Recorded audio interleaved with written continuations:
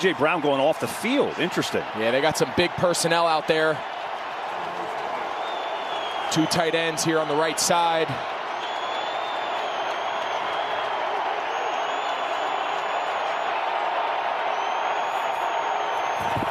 Fourth and three.